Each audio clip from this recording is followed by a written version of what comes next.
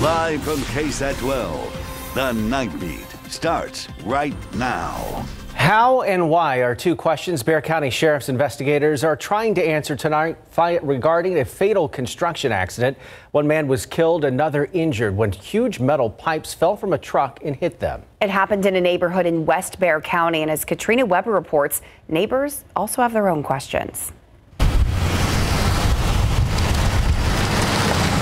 Patrol cars gave it away right away that this was no ordinary day on the job in this construction zone. Bexar County deputies were the first to find out after answering a call just after noon.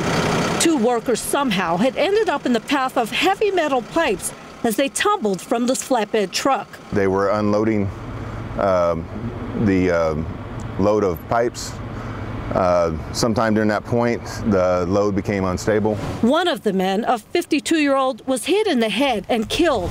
Another suffered a shoulder injury and was taken to a hospital. Just one of those pipes alone would be a crushing weight indeed, based on what I was told by one of the workers. Each one of those, depending on the lining, could weigh more than a ton. Both men were part of a crew, contractors, working an ongoing job to install gas lines in this area along West Military near North Grosenbacher Road. It's just heartbreaking. We see them all the time you know, coming and going, working every day. Monica Solis and her family had no idea what they were seeing today as they headed home and found streets in their neighborhood shut down. Trying wondered what was going on, why we couldn't get home, and just told them an accident happened. Deputies also told OSHA, the federal agency that investigates workplace accidents like this. It's unclear what they found or how long this work site will be shut down. Katrina Webber, KSAT 12 News. New on the night beat, a man in his 20s is lucky to be alive after San Antonio police say three men armed with rifles went to his job and shot at him multiple times. It all happened just before 3.30 this afternoon at the Church's Chicken, located in the 1800 block of West Hildebrand Avenue, not far from West Avenue. Officers say three suspects parked, went inside, each one carrying a rifle, and started shooting at the man working behind the register. The suspects took off, were told the man who was being shot at was not hit. Police say he was hit by shrapnel. He was taken to a hospital as precaution. So far, police do not have a motive for the shooting, and they're still looking for the gunman. SAPD detectives investigating a murder after discovering a man shot several times behind the wheel of a vehicle.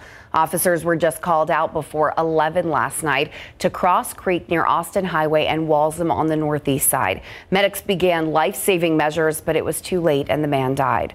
Witnesses told police they saw the passenger in that vehicle get out and shoot the driver before taking off.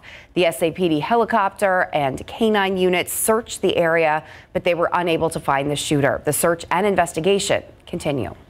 Also over on the northeast side, a fight between two men escalates when one of them pulls out a knife. We're told it happened last night in the 4800 block of Rittiman Road near Goldfield Drive. Officers say the man with the knife cut the other man on the hand. The victim went to a nearby store for help. EMS was called out to that scene. The victim treated and released. The suspect fled before police arrived and has not been caught.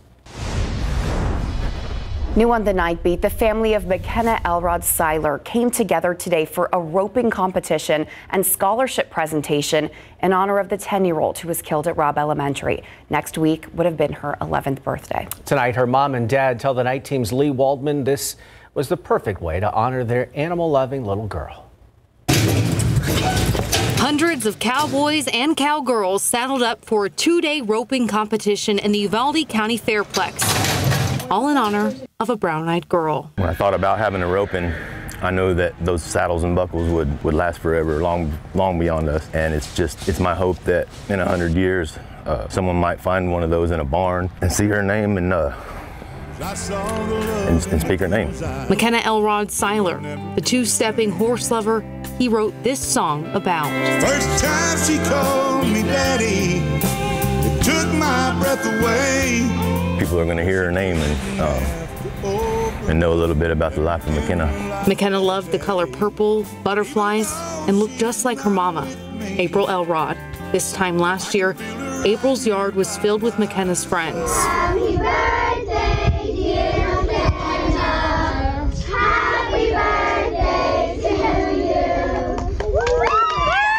Of the other angels were there. So it's a hard day today, thinking back a year ago, and, and um, but it's, it's a good day to be here and honoring her and remembering her. They know Makenna would love seeing the arena filled with ropers and parking lot packed with barbecue pits. Even more, she'd be honored that her legacy is helping another young woman's dreams of college come true. Young lady, that scholarship is $20,000 each time I back into the box, a little bit of Makenna will be with me. So as long as I'm going, Makenna's memory will be too.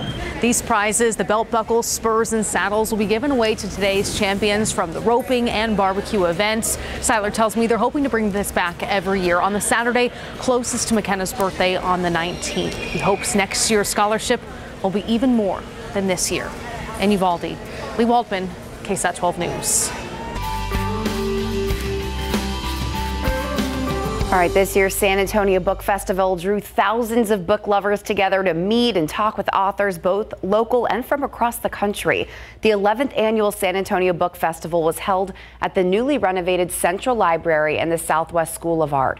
More than 100 authors were featured this year.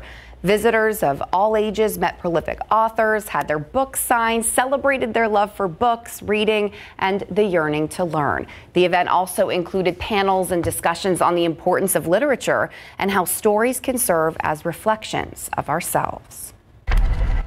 Seeing a lot of folks out there in short sleeves and shorts. Oh, yeah. Yeah, this afternoon it was a summer like one across south central Texas. We managed to find some sunshine and then highs topped off in the upper 80s and low 90s. Now, we already have some relief that's filtering in to south central Texas, all as we've seen a cold front push through the area this evening. That is now well off to our south, but we did manage to find a couple of isolated strong to even severe thunderstorms develop along that that boundary, specifically in southeastern Atascosa and then Lavaca, Gonzales, and DeWitt counties earlier this evening. All that activity is dissipated except for this one lone storm that is in western Live Oak County and far eastern McMullen County near George West that actually just got a severe thunderstorm warning. So I'll check out what that is likely entailing to some quarter sized hail and 60 mile per hour wind gusts. But again, nothing like that for us here in San Antonio. Storm threat comes to an end over the next 30 minutes minutes to an hour for our far southern counties. And then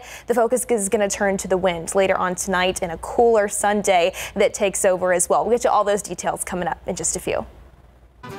We will look forward to it, Mia. Oh, we're going to be hearing a lot of that open in the coming days. San Antonio is getting ready to party Fiesta 2023, ready to kick off this coming week, and everyone's getting ready in party mode, including some of Fiesta's royalty. There was a big celebration last night with music and food as the coronation for the Charro Queen was held. Congratulations to Annika Chapa Primera, who is now the reigning queen for the San Antonio Charro Association. To celebrate, her fellow Fiesta Royals attended the coronation, the ceremony taking place at the San Antonio Charro Ranch. According to her bio on Fiesta San Antonio's webpage, Annika is a ninth grader at Brandeis High School and has been riding with the Charros since she was five. She has uh, says she can't wait to see everyone at a Day in Old Mexico Fiesta event, which will be on April 30th. Lots of events coming up. Don't forget, now is the time to get your tickets to the Battle of Flowers parade. Of course, KSAT offering you tickets to our parade viewing party. Besides a great seat to watch the parade, your ticket also includes two tacos, a drink, plus a hot commodity on parade day, that is access to private restrooms. If they're like the ones that we've had here occasionally, we've had plumbing problems, they're very nice. so you want to check those out. Just head over to ksat.com. Well, believe it or not, shoppers are finally seeing a crack in the high prices of eggs. We're checking out how much they currently cost and we're unscrambling the meanings of cage-free and farm-fresh egg labels. Plus, last year they were busted for having shark fins in their freezer. Now, a longtime Chinese restaurant is struggling to keep open the doors following a health inspection that resulted in the suspension of their license. We're taking you behind the kitchen door. And up next, the local community center continues to offer support and resources to those who may not know exactly where to go for help or what is already at their disposal. The event held today to change that coming up right after this break.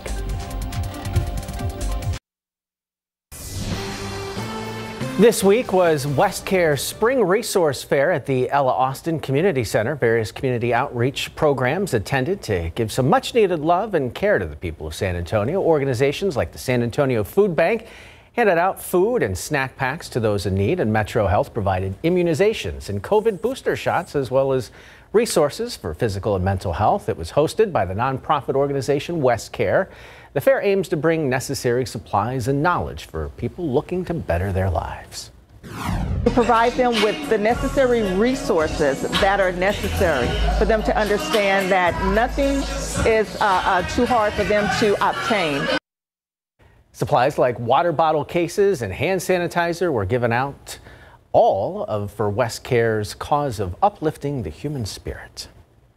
Yeah, lots of water and sunscreen today. It was really, really hot out there. And lots of pictures coming in this evening Yeah. of some interesting cloud formations out there. Looked a little apocalyptic at one point. It did. I said I would ask, what is the technical terminology, not a mushroom cloud? Right, because that's what everybody was calling it. What Right. is this mushroom cloud? It did look a little scary at times. It was it was very tall, um, but yes, the technical term for that is cumulonimbus incus. That is actually Latin for an anvil cloud. Take a look at this photo, which is just one variation of a ton of photos that we got in via KSAT Connect of yes, what a lot of people were calling a mushroom cloud. This signifies a mature thunderstorm, the Latin term cumulonimbus incus. It's rising air in that updraft. It reaches the top of the troposphere. It can't quite punch into the stratosphere because that's where temperatures actually get a little bit warmer. So it just spreads out at the top. And yes, since we actually did have some of those mature cumulonimbus clouds growing with those isolated storms that formed along the cold front right at sunset, we got some awesome photos just like that one. So again, thank you to everybody that sent those in to KSAT Connect. Now, the front has now cleared the vast majority of south central Texas, and really most of the thunderstorm activity has dissipated, except for this one severe cell that is now moving into the far western reaches of Live Oak County. So this is well south of San Antonio. After this, we are finished with the severe weather threat across the KSAT 12 viewing area tonight. This is just west of George West. Here is I-37. Here's Highway 281 and where we are seeing those brighter pinks and even some black colors there in the reflectivity values, that is likely some hail that is trying to reach the quarter to half dollar size. So this is going to continue working its way farther off to the southeast. This particular severe thunderstorm warning goes through 11:15. So if you are in western Live Oak County, just make sure that you are staying inside and we'll keep tabs on that. Behind it, again, we are quiet and we will stay that way throughout the remainder of the night. The bulk of the activity now along this boundary, well off to our east, stretching through places like Memphis, approaching the Jackson, Mississippi area, and then stretching through Louisiana as well. On the backside of that, for us here in south central Texas, now that that storm threat is coming to an end, we're going to focus on the wind. We are pretty quiet in terms of breezy conditions this hour, but I think after midnight, once we really see that northeast wind kick on, some wind gusts upwards of 35 miles per hour will be possible, and that's going to continue throughout the first half of our Sunday. So it will be a bit windy out there tomorrow morning and then through the lunchtime hour, but I think as we head into Sunday afternoon, we will start to see those winds calm down. What those winds are doing for us, though, filtering in not only cooler air, but drier air. Dew points are starting to drop, especially the farther north and west that you go. Will stay pretty dry. Low humidity expected into our Sunday and even into Monday for the most part. But as we head into Tuesday and then the middle and later portions of next week, you're once again going to notice more of that muggy feel. I mentioned that cooler air as well. It is a cold front that moved through. So let's talk about what temperatures are going to do into our Sunday. We are in the 70s for the most part right now. I think through the over overnight, we will see those thermometers bottom out in the 50s by wake up time tomorrow morning. And again, when you factor in that wind, likely will want at least the long sleeve if you are stepping out first thing tomorrow morning, but you're not going to need it by the afternoon. Plenty of sunshine is in store. It's going to be a beautiful day around 74 by 1 p.m. And then as we head into the second half of the day, daytime highs are topping off in the upper 70s and low 80s. So a bit cooler than what we saw out there earlier this afternoon. Again, that low humidity sticks with us through Monday before we see the moisture return and a few pieces of energy arrive. And that could kickstart a few isolated storm chances into next week. So we'll keep eyes on it. You had me at low humidity. That's my love language. There you go. Mm, You're welcome. It's gonna be warm for Fiesta Fiesta. Okay, did you have to ruin it? I'm not gonna be out there. Have fun. the Brahmas did something they haven't done all season. Oh. They won at home. Well, yeah, they won. They won at home, won at specifically in the Alamo Dome. That is correct. And they needed this win to stay alive, alive in the hunt for the playoffs. One of four things that needed to happen. They needed to win tonight. We come back with the highlights from a great performance. Plus, Longhorns QBs put on a show today in the spring game. Got that too. Next.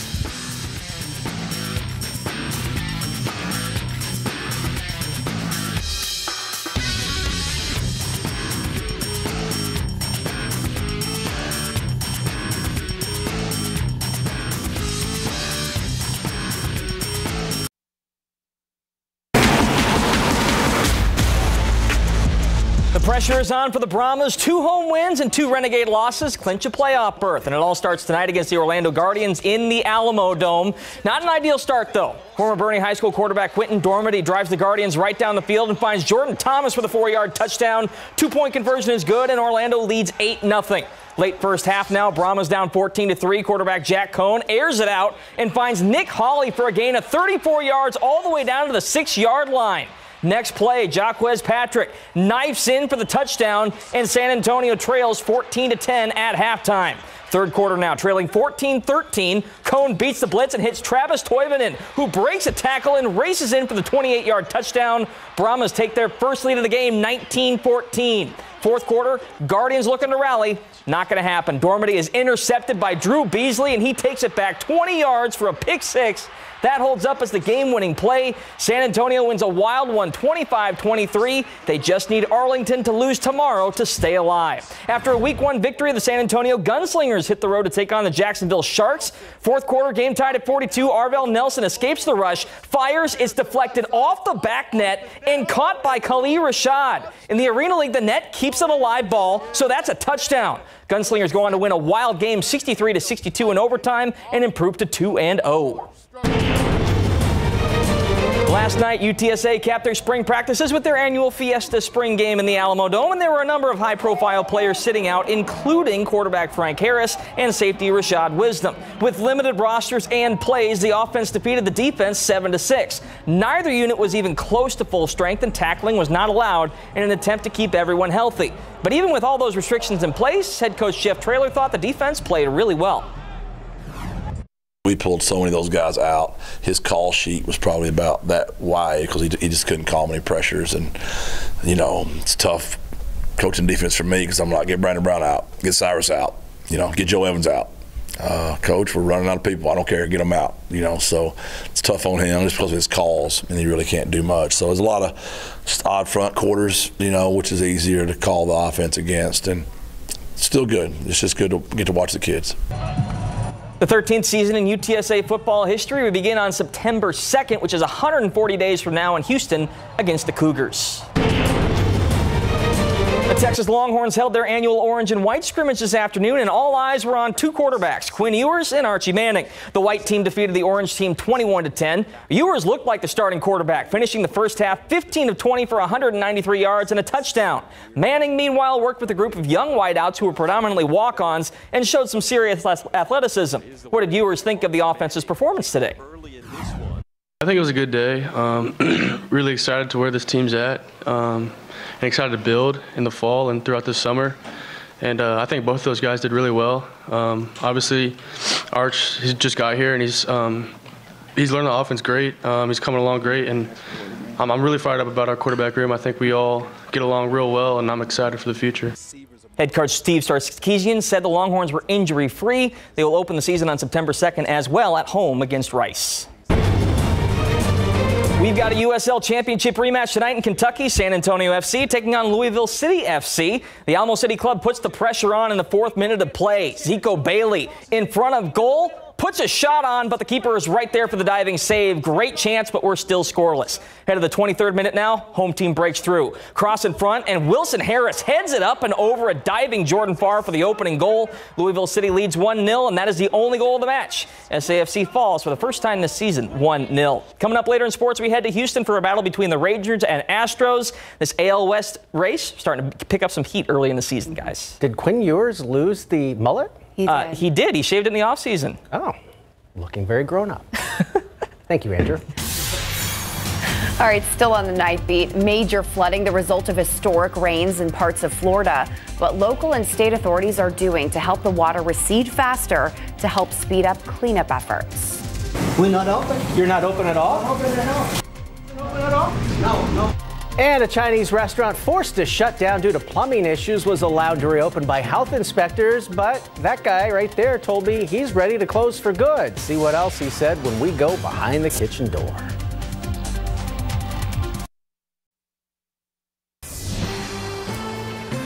Welcome back. Health inspectors recently suspended the license of a longtime Chinese restaurant on Broadway. The same place was in the news last year when illegal shark fins were found by state inspectors. I stopped by this week and was invited behind the kitchen door, but I was left wondering whether the business was still in business.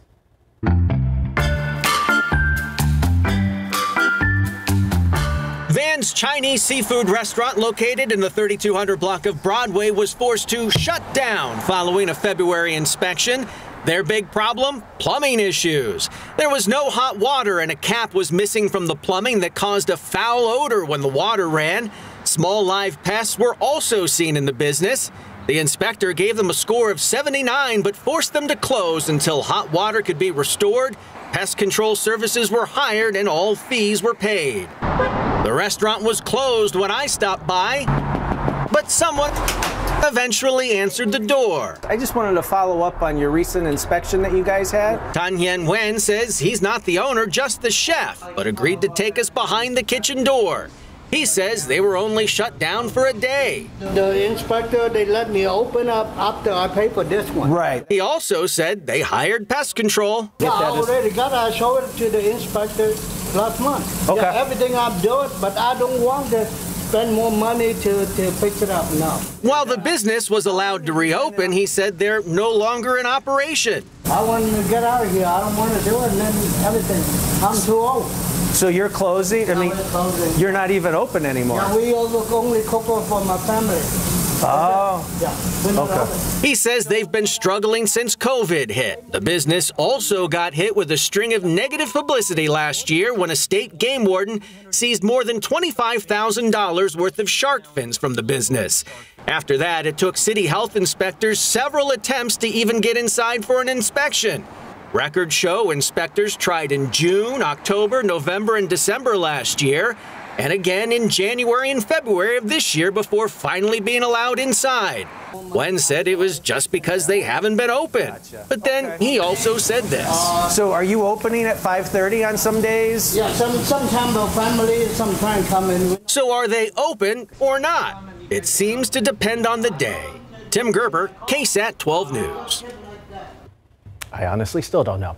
Wen and two other people associated with the restaurant were charged with several misdemeanors related to the possession of those shark fins last year. KSAT Investigates asked the Texas Parks and Wildlife Department for an update on the status of that case this week. A spokesperson said the investigation is now in the hands of U.S. Fish and Wildlife. Wen has denied any wrongdoing in that case.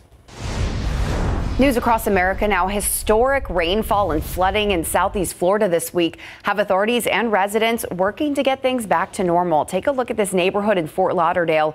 Homes still underwater. The Florida Division of Emergency Management says authorities are using vacuum trucks and pumps to try to get rid of that, the, that excess water. At one point on Wednesday, a month's worth of rain fell in just one hour. The National Weather Service has called it a one in a thousand year flood. Florida's governor has issued a state of emergency for Broward County. So far, no deaths have been reported. Over in New Mexico, three police officers are on administrative leave after shooting and killing a man as they responded to a call for help. It turns out they went to the wrong house. Body cam video of the April 5th incident released on Friday. In it, Farmington police officers can be heard confirming the address and trying to figure out if they're at the correct home. That's when the homeowner, a 52 year old man, reportedly answered the door armed with a handgun. All three officers opened fire, killing the man. They are expected to be interviewed by investigators about those actions next week. Protests continue today against a Texas judge's ruling to suspend the use of mifepristone. Now, the Supreme Court has temporarily blocked the suspension of the so called abortion medication. Protesters gathered outside the Supreme Court building in Washington, D.C. Abortion rights, abortion rights protests were sparked after the federal judge in Amarillo ruled to suspend the FDA's approval of mif- mifepristone earlier this week. It is used in the majority of abortions today in states that still allow abortion. But just yesterday, Justice Samuel Alito signed an order to temporarily block the suspension from going into effect, which would have happened today. Officials are look, looking into several causes of, uh, sorry, looking into several brush fires that were burning in suburban New York, including whether or not a CSX train may be to blame. The Rockland County Sheriff's Office reportedly says a CSX train was generating sparks as it was traveling through that area, and those sparks started dozens of small fires. Some of them threatened homes, but there were no reports of any of them actually catching fire. Some homeowners, though, reported damage to storage units and fences. CSX says it inspected the track and couldn't find any issues. The company stopped the train and is now working with local investigators. Have you filed your taxes yet? If not, the clock is ticking. Today is National Tax Day. Tax Day is the day your individual income tax returns are usually due to the federal government, but that's not the case this year for two reasons. April 15th falls on a Saturday, and in D.C., Emancipation Day is a holiday that's observed Monday. So the federal tax deadline has been extended this year to Tuesday, April 18th at midnight. So if you have, you have a few extra days to finish your taxes, and if you can't make Tuesday's deadline, it is strongly advised you file an extension. Coming up, finally, some relief at the grocery store. Egg prices are starting to come down. What are they now selling for? Plus, we explore what's in a name when it comes to farm fresh and cage free eggs.